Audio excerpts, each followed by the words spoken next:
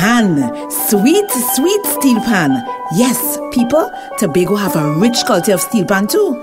It's part of our heritage too. It's Friday, 22nd July at the Plymouth Hard Court from 8 p.m come and hear seven of Tobago's top, large, and medium bands perform old time calypsos and classic Tobago folk songs. I guarantee you, it could be a time to remember. Even Caribbean Airlines invaders from Trinidad joining in on the fun, plus other guest artists. Admission $50 for adults and $20 for children. Sponsored by the Division of Community Development and Culture.